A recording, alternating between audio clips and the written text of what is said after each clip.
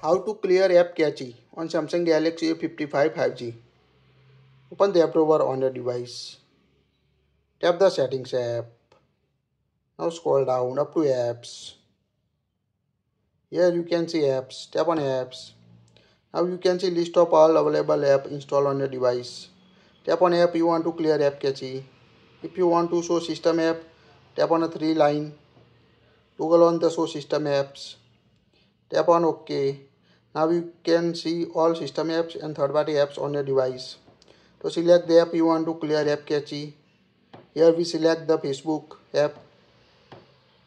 Find the Facebook or you want to clear cache on your device.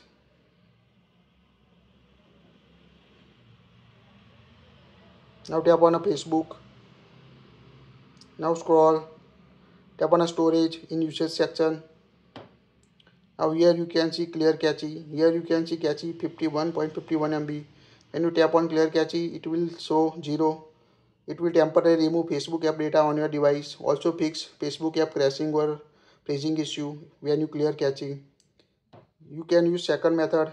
Just open the app drawer.